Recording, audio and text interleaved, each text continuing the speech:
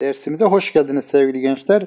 Bu dersimizde sizlere 10. sınıf Osmanlıca dersimizin 3. ünitesinin son konusunu yapacağız. Konumuz Y okutucusu yani I, I seslerini çıkaran okutucumuz. Şimdi kuralları kısa kısa hemen hatırlayalım. Y okutucusu I, I seslerinden biriyle okunur değerli arkadaşlar. Y okutucumuz I, I seslerinden birini çıkarır.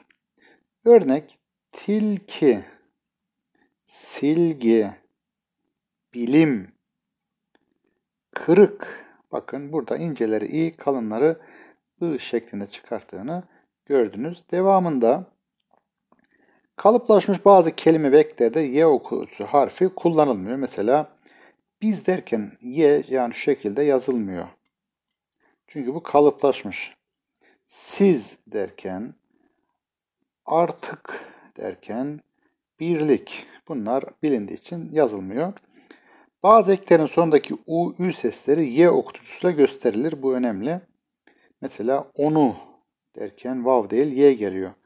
Bunu, oğlu, buldu, bakın buldu, okuduğu, gördüğü, tuzcu, buzlu, suçluyu, düştü mü?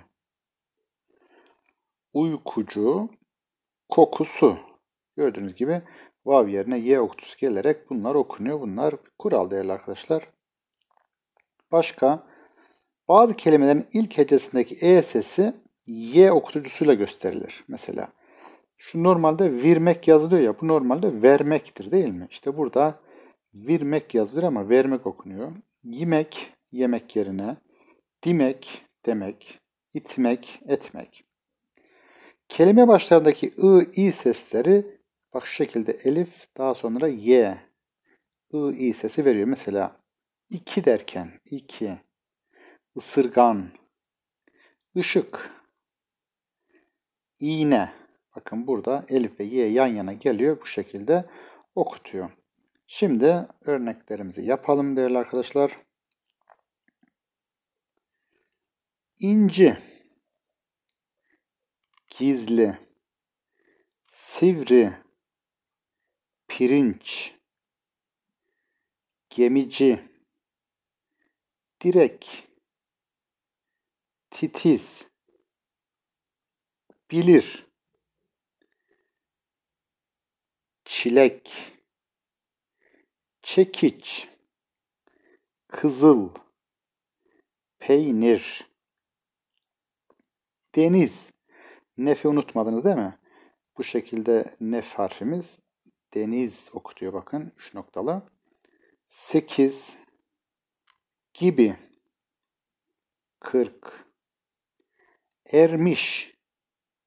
Sessiz. Kışlık. Birlik. İşçi. Irmak ısı ince İsterseniz şu aşağıda hemen şu şekilde yapıp okuyalım. Gece yazılıyor bakın gece. İrken yazılıyor erken. Ispanak. ip. İrteleme. Bakın erteleme yerine bu şekilde. İrmek yani ermek. İlti yani elti. İlçi yani elçi de bu şekilde yazılmış oluyor. Şimdi konumuzla ilgili cümleler var, örnek cümleler. Onları okuyalım. Bakın burada ne diyor? Tekir kedi çanaktaki eti hızlıca yedi. Afiyet olsun sana tekir kedi. Cılız sivri sinek çocuğu ısırdı. Yazıklar olsun sana sivrisinek. Ağzı açık, gözü kapalı uyudu serin sularda derin düşüncelere daldı. Artık yavaş yavaş hızlandık değil mi arkadaşlar? En alt cümlemizde eli dar olanın dili kısa olur yazıyor kıymetli arkadaşlar. Evet şimdi atasözleri var. Bu atasözlerini de e, hızlı bir şekilde okuyalım. Böylece ünitemizi tamamlayalım inşallah. Bakalım ne yazıyor. hangi atasözlerimiz var. Biraz daha geriye alalım. Evet. Bu günkü işi yarına bırakma. Eken biçer, konan göçer. Gergin ip çabuk kopar. Dereyi görmeden paçayı sıvama. Pişmiş asa, pişmiş aşa, soğuk su katılmaz. Çok yaşayan değil, çok gezen bilir. Evet güzel atasözlerimizin bakın Osmanlıca yazılışlarını böylece öğrenmiş oluyoruz. Sayılı koyunu kurt kapmaz. Irmak kenarına çeşme yapılmaz. Azıksız yola çıkanın iki gözü el torbasında olur. İstediğini söyleyen istemediğini işitir. Değerli arkadaşlar etkinlikler bölümünü okuyun diyor 143'ü. İnşallah bu yıl Osmanlıca 10. sınıfı yeniden e, tüm videolarını çekeceğiz sırayla inşallah. Böylece 3. ünitemizi tamamlamış olduk. Son sözümüz bakın. Olanda hayır vardır şeklinde güzel bir hat sanatı yazısını da okuduk. Değerli arkadaşlar Osmanlıca dersimizin 3. ünitesinin de sonuna geldik.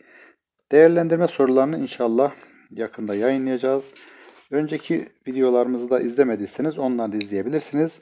Ayrıca kanalımızdaki videoları izleyip beğenip arkadaş gruplarınızda da paylaşabilirsiniz. Onların da bu bilgilere istifade etmelerine vesile olabilirsiniz diyorum. İnşallah Osmanlıcayı beraber öğreneceğiz. Yeni derslerde görüşünceye kadar Allah'a emanet olun. Sağlıcakla kalın.